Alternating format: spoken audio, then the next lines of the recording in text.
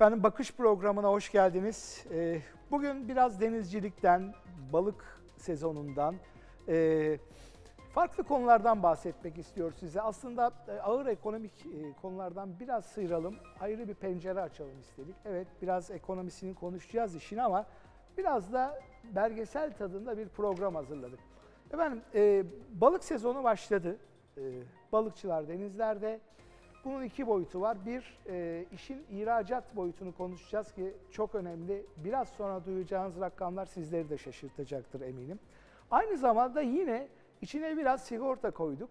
Nedenine gelince e, balık sezonu açıldı. E, balık tekneleri e, denizlerde sigortalı mı sigortasız mı? İşin neden bu kadar önemli olduğunu da biraz sonra konuşacağız. Efendim iki değerli konuğum var e, Grup Sakın Yönetim Kurulu Başkan Yardımcısı, aynı zamanda Su İstanbul Su Ürünleri ve Hayvansal Mamuller İhracatçı Birliği Başkanı Sayın Oğulcan Kemal Sakun bizlerle birlikte e, işin e, ihracat tarafını, üretim tarafını kendisiyle konuşacağız.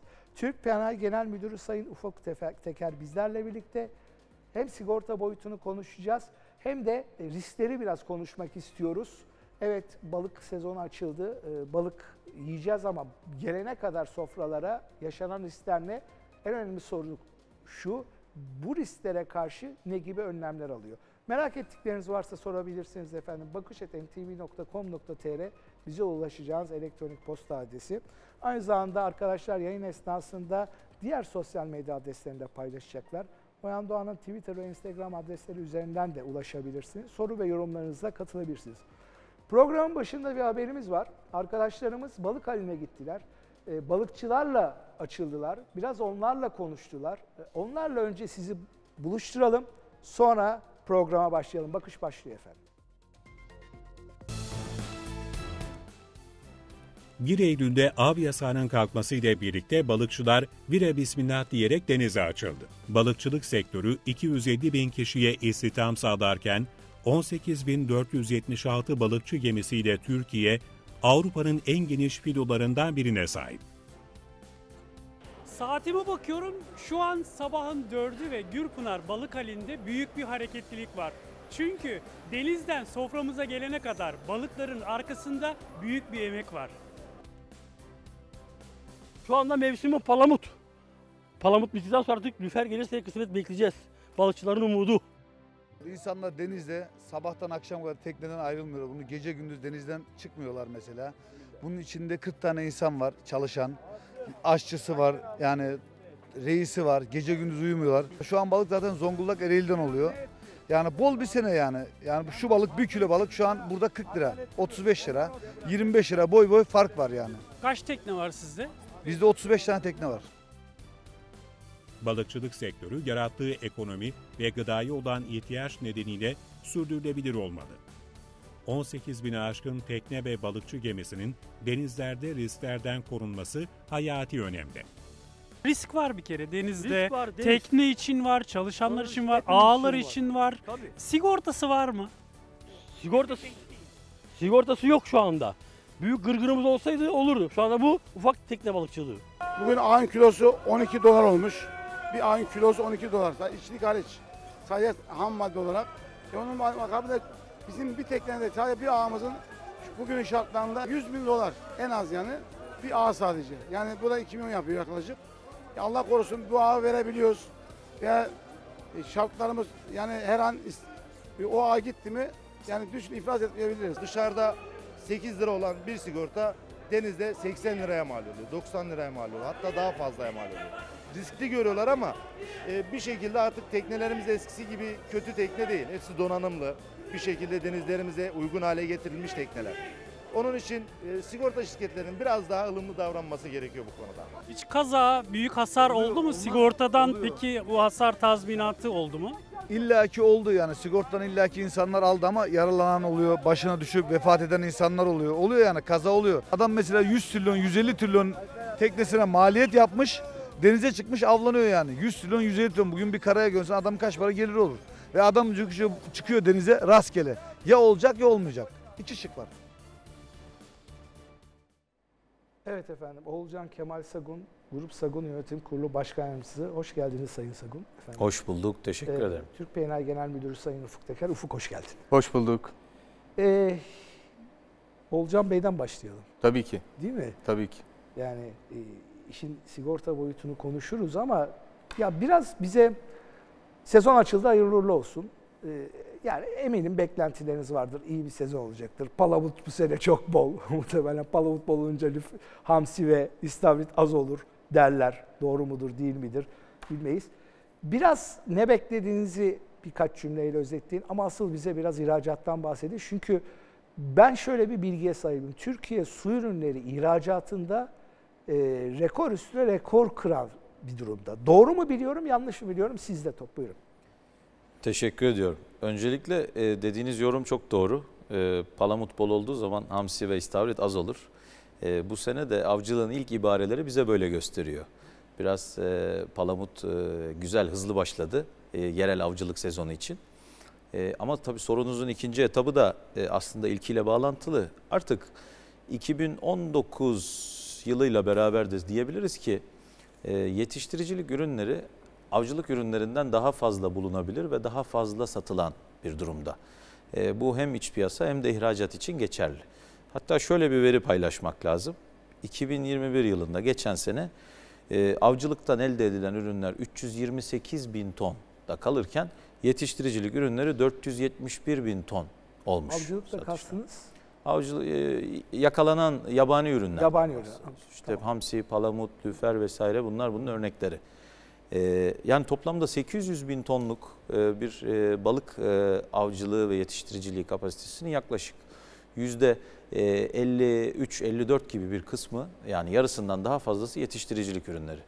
Tabii bunun Buna etkilerini... kültür balıkçılığı mı? Kültür doğrudur. Aquakültür ürünleri. Bunu e, ihracata da direkt bağlayacak olursak e, 2000 yılında e, Türkiye'nin su ürünleri ihracatı 46 milyon dolarmış. Yani bundan 22 sene önce. Hı hı. E, ben e, tabii programa başlamadan önce sizlerle de sohbet ettik. Bu sektörde dördüncü kuşak temsilciyim. Yani bizim çocukluğumuzda e, bütün hayatımız sektörün içinde geçti. O zamanları da hatırlıyorum.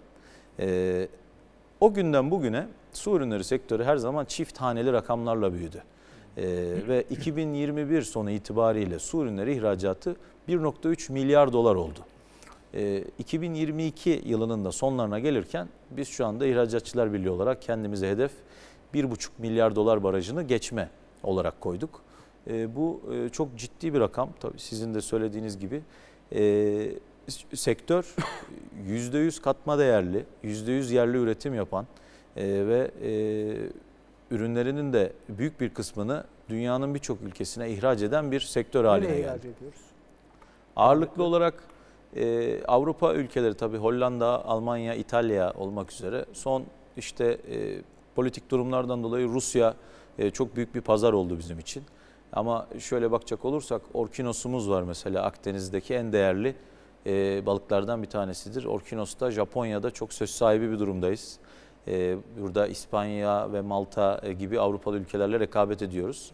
Ama Amerika'sından Japonya'sına, Avrupa'sından Rusya'sına şu anda e, 180 ülkenin üstünde e, Türk su ürünleri ihraç oluyor. Orkinos avına çıktı mı Ufuk hiç? Yok hayır çıkmadım. O Siz çıkıyorsunuz. amatör değil, amatör işte. Biz her sene Amatör işi değil mi bu? Kesinlikle değil. Öyle mi? Siz çıkıyor musunuz? Biz biz her sene senenin bir ayı Akdeniz açıklarındayız. Ee, bu tabii e, çok kapsamlı bir operasyon. Biz yaklaşık e, 20-25 tane gemi, her birinde 20-25 tane tayfa olacak şekilde. Bu bildiğimiz gemiler takalar değil herhalde değil mi? Bu şey dediğiniz. Hangileri daha mı büyük? Ee, bilmediğim için soruyorum. Şöyle e, gene e, yani Ufuk Bey'in de konusu Türkiye'de 18 bin tane balıkçı gemisi var iç sularda ve e, denizlerde olmak Ya bu üzere. taka dediğimiz şey midir gemi? Bunların ilk sadece 288 tanesi e, 30 metre üstünde. Ha 30 metre üstü. Bunlar açığa gitmeye e, kabiliyeti olan gemiler ama e, gene biz taka deriz. Biz balıkçılık dilinde kayık deriz Ben de hatta. taka bilirim Kayık yani. denir hatta yani. Kayık. Kayık. Kayık tırınlarına. Evet. Hadi Yani biraz 60 daha- metredir kayıklarımız. Ha, Hatta alış, ağız alışkanlığı kayık diyoruz ama biz gidip Akdeniz açıklarında avlanıyoruz. Yani Malta'nın, Tunus'un, Cezayir'in Zor iş. sularında avlanıyoruz. Çok zor iş. Evet. Sigortalı mı gidiyorlar? Ee, 300 gross tonun üzerinde büyüklüğü olanlar. E, Kaç ne kadar bunların ağırlığı? 300 gross, gross e, ton. işte yaklaşık 150 tanesi 300 gross'un üzerinde uluslararası sefer yapabilecek nitelikte olanlar. Zorunlu sigortalı. Ee, Evet 300 gross'un üzerindeyse mecburen sigorta etmek zorunda. Tabii e, Olcan Bey ilave olsun e, balıkçılığın sadece e, ürettiği katma değer ihracatta sınırlı değil. E, 250 bin kişinin üzerinde bir iş gücüne e, istihdam sağlayan çok önemli bir e, sektör. Bu anlamda da e, balıkçılık çok önemli bir Risk ne? ee, risk şöyle, balıkçılarımız aslında biraz böyle bir e, müsaade ederseniz Tabii, 5-10 tabii, yıl geriye Tabii, bir sarıp 5-10 yıldan beri Afrika'nın batısında e, zaten uluslararası sularda Türkiye'nin komşusu olduğu yerlerde e, balıkçılık faaliyeti gösterirken e, son e, yanlış bilmiyorsam 10 yıldan beri artan oranlarda ee, özellikle Moritanya'da belli alanlarda Türk balıkçıları e, balıkçılık yapmaya başladı. Ee, bu da e, balıkçılara yeni bir kaynak yarattı. Kaynağın yanı sıra e, yeni tekneler imal ettiler, ürettiler Türk tersanelerinde. Türk klasıyla e, klasının gözetiminde ve bu teknelerle Afrika'nın batısına kadar okyanusa e, açılmış durumda Türk balıkçılığı ve bu sayede de ek kaynaklar e, Türkiye'ye getiriyorlar. Bütün getir e, kazandıklarını Türkiye'ye getiren bir sektör bu arada. Hiç yurt dışında yatırımı olan Afrika'ya kadar gidiyor. Evet. Risk olarak da tabii ağırlıklı olarak her bir e, balıkçı teknesinde 25 e, civarında personel var. Personel yaralanmaları e, konusunda çok emek yoğun bir iş. E, oldukça e, bir frekans olduğunu söyleyebilirim. İkinci önemli riski de e, denizden topladıkları ağları e, çok yüklü olarak e, içinde e, yüklü balık yüküyle beraber yukarı yüzeye çıkar çıkartırken teknelerin dengesinde stabilite problemi yaşayarak e, birkaç hadise yaşandı. Devriliyor mu? Devriliyor evet. E, herkesin anlayacağı dilde e, dengesi bozuluyor teknenin e, ve bir tarafa meylederek e, batıyor. Battıktan sonra tabii personelin e, ölüm yaralanma gibi rizikoları oluyor. Ağ atarken ağ, personelin takılması neticesinde denize gitmesi bazı kurtal- kurtarılıyor. Çok profesyonel 18 ekipler bin var. aşkın teknenin ne kadar sigortalıdır? E, birkaç yüz tanesi ancak. Kaç? Birkaç yüz tane. Evet. Niye öyle? Ya tabii bu 18 bin Sizinkiler tekneyi- sigortalıdır herhalde değil mi? Ee, Biraz önce Ufuk Bey'in de dediği gibi şey düşünmek lazım. Yani bunların e, arasında bu çok küçük takaları da bu 7-8 metrelik işte hobi amaçlı balıkçılık faaliyeti Ya yürüten tekneleri de bunu. Onlar da lisans aldığı için bunlar onun içinde. Ama profesyonel Afrika'ya bugün işte avlanmaya giden e, tekneler de zaten birkaç yüz tanedir. Ama bu e, Türk balıkçısına da çok e, farklı, çok değişik bir vizyon kattı.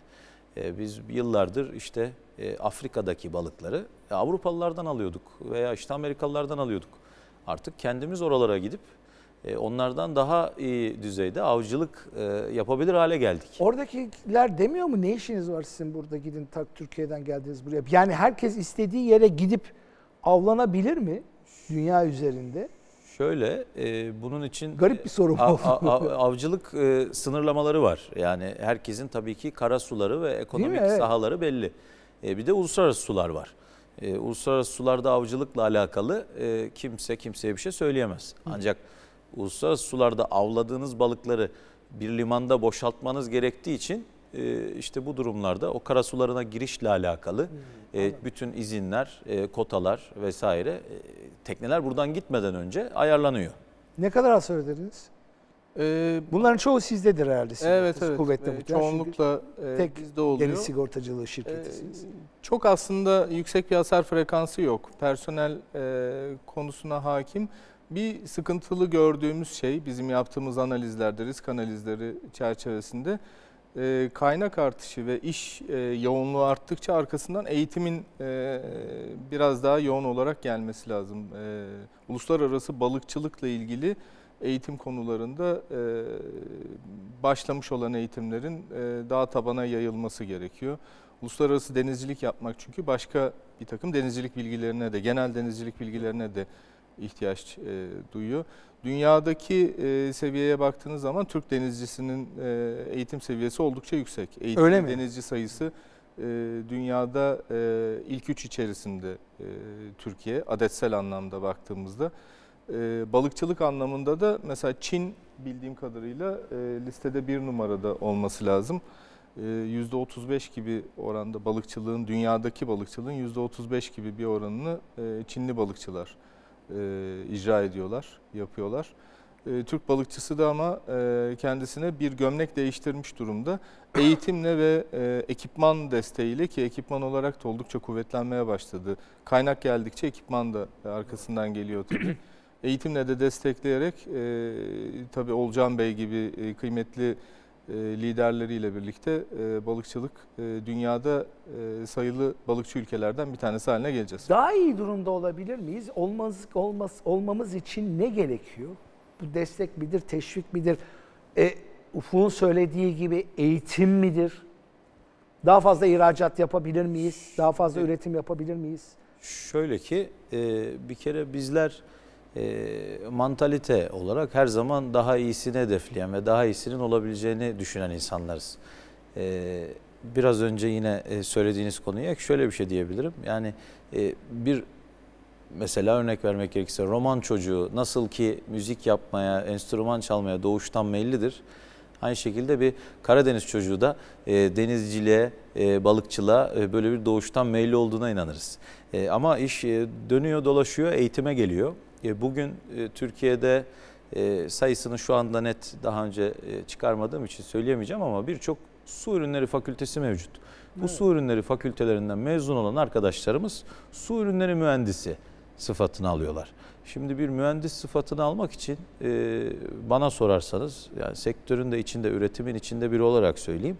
E, bunu e, kitaptan e, ve e, sadece e, Teorik. teorik olarak öğrenmektense sahada bunun e, araştırmasına, çalışmasına katılmış olmak eğitim Bir Orkinos'a çıkmak gerekiyor değil mi? E, Orkinos'a çıkmak, bir çiftliğe gidip yem atmak, o kafesin üstüne çıkıp o balığın dönüşünü izlemek, hastalığını görmek vesaire bunların hepsi e, bir e, etken.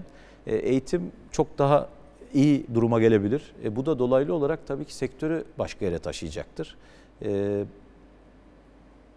Şöyle ben e, ben aynı zamanda benim ailemde de su ürünleri mühendisleri var ve su ürünleri mühendisleriyle sürekli olarak çalıştığım bir ortam içindeyim. Benim gördüğüm en büyük eksik arkadaşlarımızın pratik eksikleri. Mezun olduktan sonra biz tekrar bir 4-5 sene daha bir ikinci bir üniversite okutuyoruz arkadaşlarımıza e, sahada.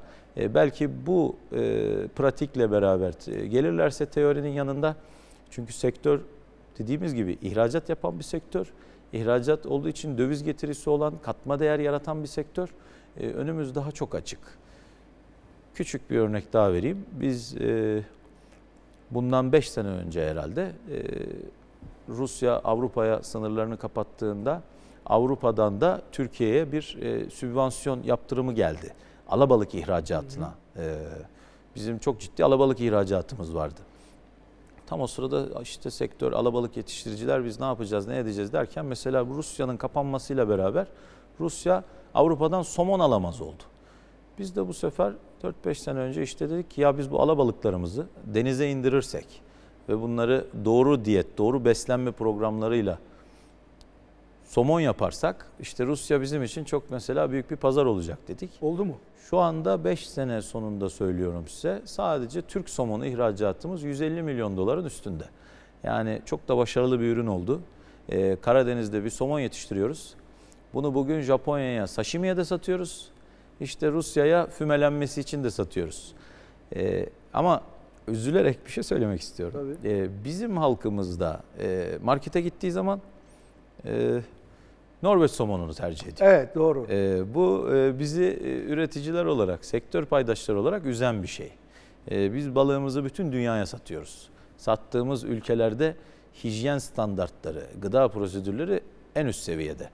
Yani bugün artık e, tezgahın önüne gidip işte e, çiftlik balığı olmasın, e, işte e, yabani olsun veya işte e, Türk olmasın da Norveç olsun vesaire demek E, Sizi üzüyor. ben halkımızdan gerçekten daha e, iyi bir yaklaşım. Sigorta bilinci yüksek bir bu denizcilik alanında ufuk. E, mecburi sigortaları takip ediyor tabii ki. Kenara E, koyalım. O zaten zorunlu herhalde. Onun haricinde e, Bir bilinç var mı? sektöründe dünyada da e, sigorta okyanus balıkçılığında çok yaygındır. Okyanus balıkçılığında e, sigortalanma var. Hatta ben yakın zamanda Dünya Deniz Sigortacılarının bir birliğinin toplantısına Ki gittim. yeni Balık- geldin galiba zaten. Evet evet. Ee, orada balıkçılıkla ilgili de bir gündem oldu. Ee, orada kayıt dışı balıkçılık e, konusu e, izinli olmayan sahalarda balıkçılık yapılması ile ilgili e, sigortacılar ve finansçılar destek vermemesi hususunda e, birliğin genel bir e, kanaati hakim olduğunu gözlemledim.